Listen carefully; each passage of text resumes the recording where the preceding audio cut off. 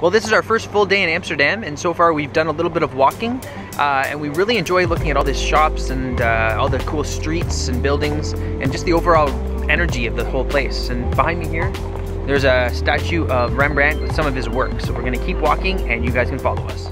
There are 165 Amsterdam canals that combine for a length of over 100 kilometers, or about 60 miles. This canal ring became part of the UNESCO World Heritage List in 2010. There are 2,500 houseboats in Amsterdam. Many of them have been afloat for more than a century. There are different types of houseboats, and the concrete type are the most desirable as they don't need to be taken to the shipyard for repairs.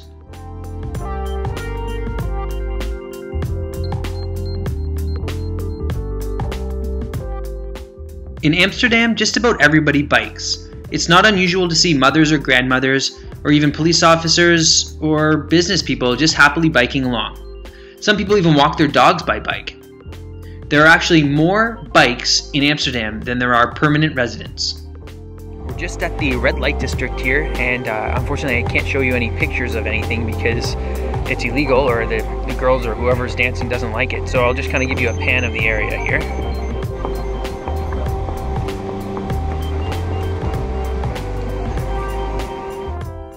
Here's the red light district around 7 p.m. Uh, and even though it kind of is known for being a bit seedy or a little bit of a dodgy area, uh, it really doesn't have that feeling when you're there because there are so many different tourists uh, that are wandering around. It kind of gives you a safe feeling.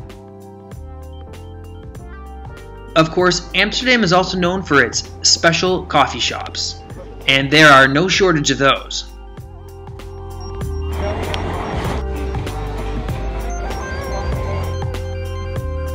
Another coffee shop. Here we are en route to one of Amsterdam's most famous attractions, the Anne Frank House. Behind me here is the Anne Frank House. We've been in the line now for about an hour and 10 minutes. As you can see, it goes all the way back there.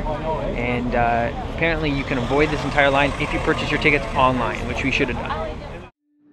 During World War II, Anne Frank hid from Nazi persecution with her family and four other people in hidden rooms at the rear of a 17th century canal house known as the Secret Annex.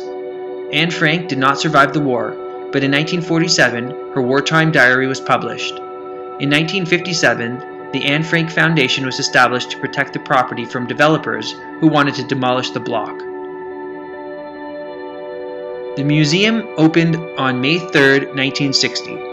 It preserves the hiding place as a permanent exhibition on the life and times of Anne Frank, and has an exhibition space about all forms of persecution and discrimination. In 2013, the museum had 1.2 million visitors.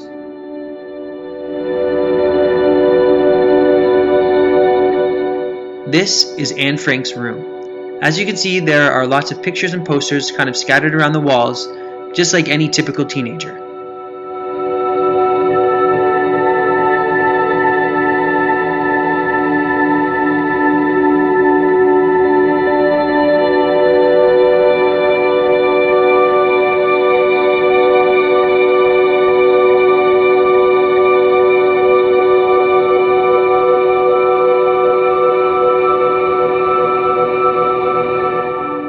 This staircase leads to an attic, and in one of Anne's diary postings, she mentions that this is the only space that she has in order to breathe fresh air in the mornings.